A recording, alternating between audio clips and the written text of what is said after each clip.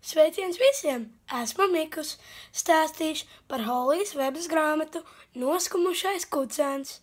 Šajā grāmatā galvenie varoņi ir Megana un viņas labardors Elija. Kad Megana pārvērcās dzīvot citur, Elija iztraucēja viņiem pārvākties. Tādēļ Elija palika padzīvot uz brīdi pie vecmāmas. Bet Elijai tas nepatika, un viņa gāja meklēt Meganu. Tādēļ viņa aizbēga.